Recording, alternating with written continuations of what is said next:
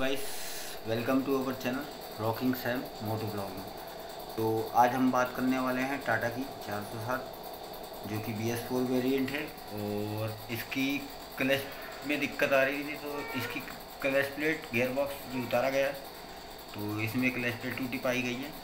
तो इसको आगे वीडियो में आपको बताते हैं, है ना? अगर वीडियो पसंद आए तो वीडियो को लाइक करना शेयर करना और कमेंट करके बताना वीडियो कैसे लोना है है ना? ये उसकी क्लच प्लेट है ना? क्लच प्लेट की ये हालत है। ये देखिए, ये पूरी बज रही है। ये प्रेशर प्लेट है। इसमें पूरे निशान आ चुके हैं ये। फिंगर दबे हुए हैं। क्लच प्लेट पूरी ख़त्म हो गई तो टूट गई है। टुकड़ों में निकली है, टूटी पड़ी है स्प्रिंग है। बाकी गियर बॉक्स धोने के लिए रख दिया, हमने पूरी इसकी सफ़ाई करेंगे अब। इसको कंप्लीट करेंगे। ये उसकी हाउसिंग है फार्क की। गेयर बॉक्स की बाकी बची हुई। ये कंप्लीट वम्प्लीट करके इसको फिट करेंगे।